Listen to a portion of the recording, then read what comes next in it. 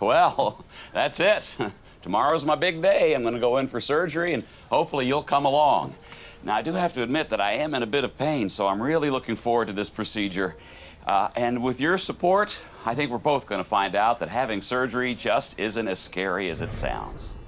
Hey, if you're just joining us for this very special Today Now event, we're covering our own Jim Haggerty's kidney stone removal surgery live on the air. And that was Jim's final video diary last night. And his surgery is now just minutes Oh, away. Dr. Jeffrey Atka is still with us. And Dr. Atka, tell us how somebody would know if they had kidney stones. Well, the telltale symptom is excruciating pain that makes it nearly impossible to pass urine.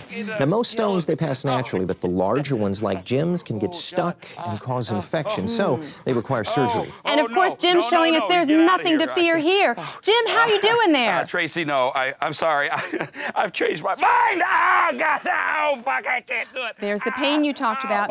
So, Dr. Oh, let Atka, tell go. us what Let me go, precautions we would right take to prevent us Oh, from getting oh, kidney oh, stones. Always stay oh, hydrated. please, please, Water helps the kidneys break the stuff down. Ah, hear that, Jim? More water. What? More water. Maybe we should replace your coffee. Please go away. Please. Ow, no, get out of here. So now, doctor, is this a picture of Jim's ultrasound? here? Wow, that is Oh, a please, very God large kidney stone he has there. Oh. It, it- it almost looks like two need stones fucking have fused together. You're gonna have to start a college fund for that one, Jim. Fuck you, Edgar. I'm gonna fucking kill you. Now, what are we seeing here, doctor? Well, in a few moments, uh, they're going to place a tube in Jim's urethra, which will travel its way up to the ureter. And then shock waves are going to break it down into smaller chunks, which will then scrape their way out through the urine. Well, you know, it sounds complicated, but really, it's a simple surgery that has an almost 100% success rate. So there's nothing to be afraid of. Hear that, Jim? Where's the laser? What laser, sir? Oh, just, just shoot my dick with a laser.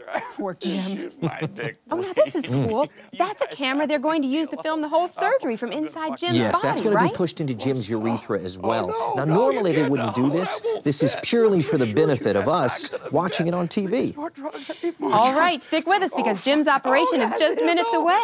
But first, he's going to pop into the children's ward to cheer up some Oh, youngsters suffering from terminal Oh, illnesses. Stay tuned. Oh. My dick.